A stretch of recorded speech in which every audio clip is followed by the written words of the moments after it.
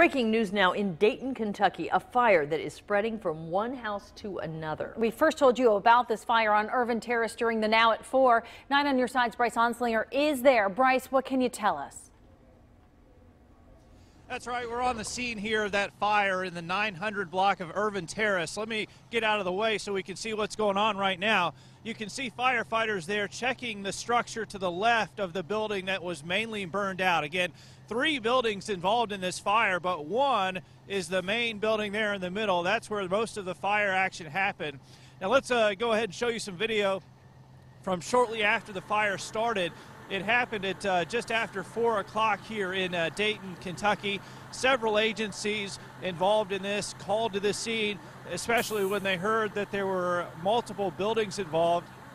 You can see from that video just how close the buildings are, and that's why that fire was able to spread. These houses are just about four or five feet apart from each other, and that's what made this fire so dangerous. Now, no word yet on any injuries or if anybody was in the in the buildings at the time of the fire. We'll continue to investigate that and bring you those details live here on Nine on Your Side. Bryce Onslinger, Nine on Your Side, live from Dayton, Kentucky.